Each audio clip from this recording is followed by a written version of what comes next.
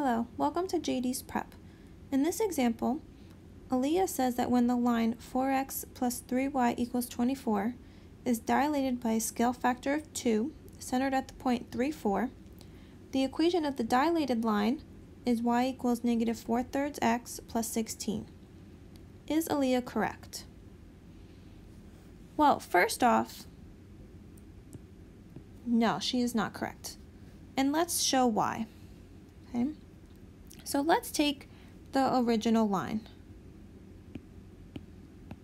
Right, so I have 4x plus 3y equals 24. In order to graph this line, let's put it into y equals mx plus b form. So 3y is equal to negative 4x plus 24. And let's go ahead and divide by 3 everywhere. And I get y is negative 4 thirds x plus 8. So this has a y-intercept of 8. Let's get our green here.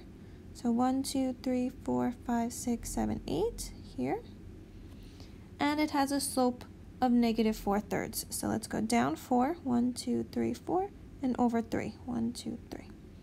That gets me that point, 3, 4. Right? Our starting point is our y-intercept. And we can repeat this process, right? We can go down another 4, 1, 2, 3, 4, and then over 3, 1, 2, 3. So now I'm at, right, six, zero. So if I connect those, there's my original line, right? So now, this is dilated by a scale factor of 2, centered at the point 3, 4. Well, if we look, 3, 4 is on that line.